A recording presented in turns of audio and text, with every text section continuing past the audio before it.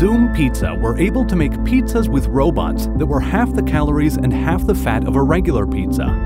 And they started baking your pizza when the pizza oven delivery truck was only four minutes away from your home, providing you with a fresh, out of the oven pizza when it arrived at your doorstep. And if you walk into the Spyce restaurant in Boston, you'll be served healthy dishes designed by a Michelin star chef in three minutes for $7.50.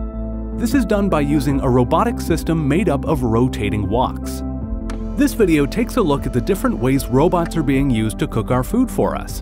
From robotic arms that can flip burgers, to vending machines that can make custom salad bowls, which provide doctors and nurses with healthy meals during their shifts 24 hours a day.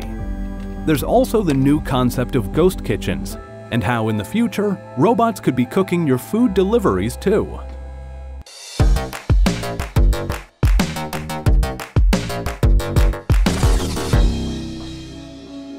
High rent in cities not only makes it harder for people to start their own food businesses, it also drives people to live further away from the cities, making it more difficult to find workers.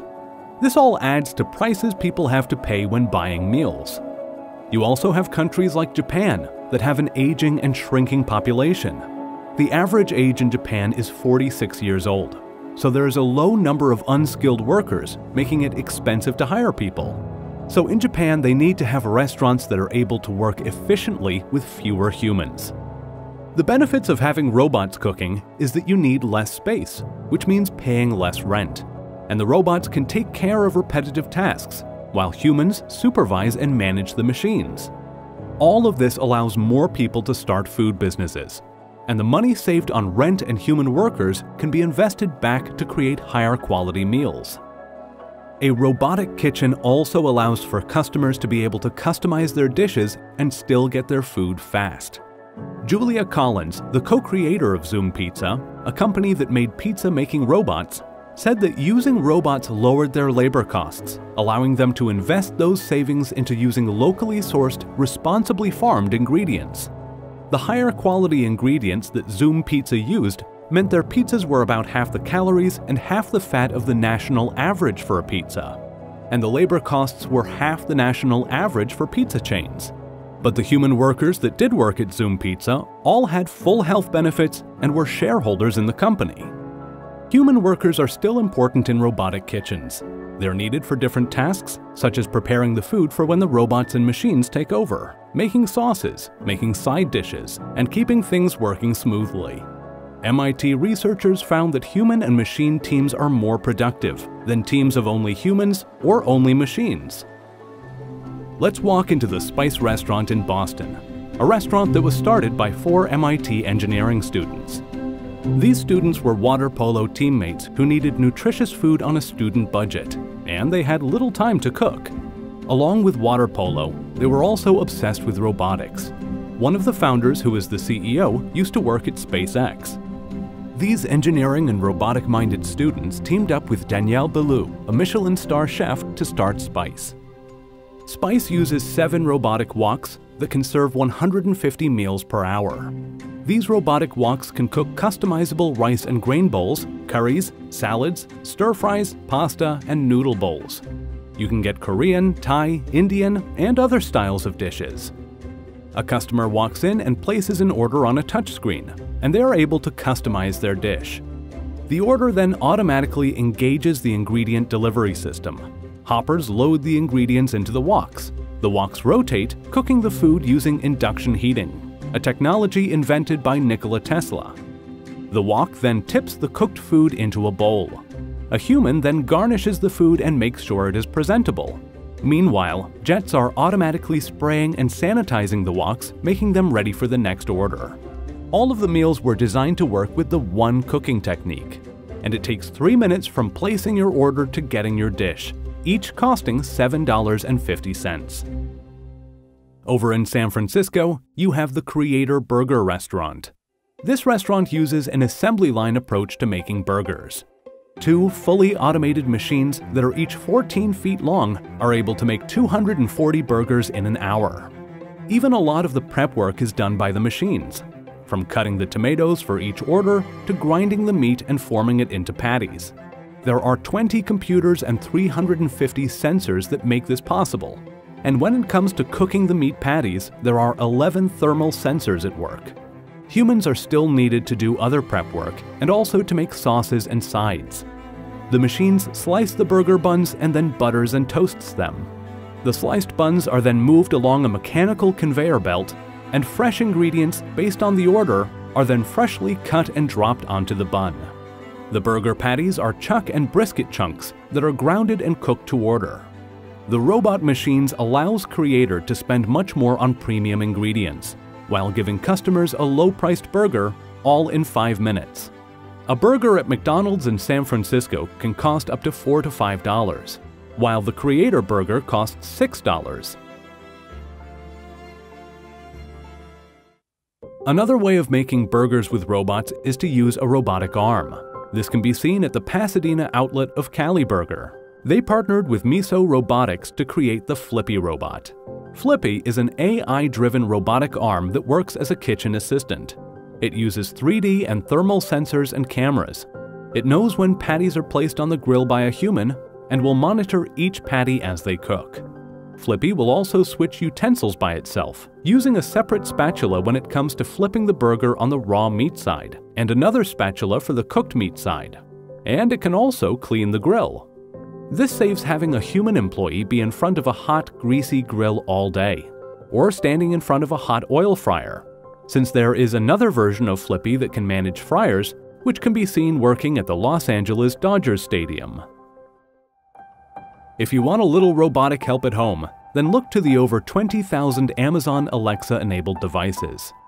The Amazon microwave allows you to say how long you want it to cook for, or ask it to stop without having to push any buttons. You can even ask it for more specific commands, since there are pre-programmed presets. You can ask it, microwave 8 ounces of frozen vegetables, or reheat 1 cup of coffee. These microwaves even have scanning software that allows you to scan the barcode of food packages with your phone, and it will automatically set the time and power level to the instructions on the packaging. There are also voice-controlled coffee makers, so while you're waking up in your bedroom, you can instruct the bedroom speaker to start the coffee maker that is all the way downstairs. Or you can program the coffee maker to automatically brew coffee at a certain time each morning. When you're out of the house, Another robotic food option is the Sally vending machine, created by Chowbotics. Sally creates healthy bowls which you can customize, letting you choose up to 8 ingredients for your salad, grain, or yogurt bowl. They can be found in 70 locations worldwide, including university campuses. They are also found in hospitals, a place that is operating 24 hours a day. Sally lets doctors and nurses working day and night shifts, along with visitors, have healthy meals at any time replacing junk food vending machines. Each bowl is made in 90 seconds, and the 22 ingredients are refrigerated and restocked each day. All of this fits into a 3 foot by 3 foot space and can serve meals 24 hours a day. Earlier, we mentioned Zume Pizza and the Doughbot, the pizza-making robot. This is how it worked. In a main facility, robots made the pizzas alongside humans, Delivery trucks were then loaded with racks of pizzas and ingredients. When an order was placed, a pizza would be loaded into the oven in the delivery truck and make its way to the customer's location. It won't start baking the pizza until it is 4 minutes away, so it is fresh out of the oven when it arrives.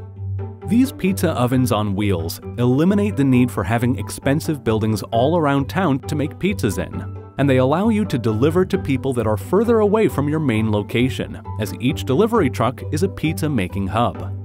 Zume stopped making pizzas in January 2020 and is refocusing on providing automated food production and mobile kitchen systems to other food companies, along with sustainable packaging. The reason why Zume is focusing on automating delivery production is because of the huge rise in online food deliveries. These days, most people have never set foot into the restaurant where they are getting their food delivered from. And this has given birth to ghost kitchens, also known as virtual kitchens. These are commercial kitchens that are set up just to make deliveries. There's no need for an expensive restaurant space where people sit down and eat when you can just make online deliveries. Some are operated like a co-working space, where in a large space you have a number of small kitchens that can be rented out month to month. catering companies have been using these kitchens. Now you have food delivery only restaurant names being started in them. And there are also restaurants who do have a restaurant location that operate in a ghost kitchen in another part of the city. This lets them expand their delivery area without needing to open another restaurant space. Both Deliveroo and Uber Eats have opened ghost kitchens in Paris. Ghost kitchens are also popping up in London, Los Angeles, and China. And the former CEO of Uber, Travis Kalanick, started a kitchen company called Cloud Kitchens. The question then is when will these two worlds collide? Where robots end up being installed into these ghost kitchens, maybe having one human prepping the ingredients while a robot machine does the cooking and assembling of the dishes, working side by side. The meals then get picked up by a delivery person and make their way to the customer's door. Or maybe you won't even need the human there by the robot side. Instead, a human can travel around the city to different ghost kitchens, as the robot sent messages saying they need some assistance or more ingredients. So the robots keep on working and ask us humans for help. On the next episode of Venture City, we take a look at 3D printers and how they will build our future for us. Hit the thumbs up button and press the subscribe button to not miss a video.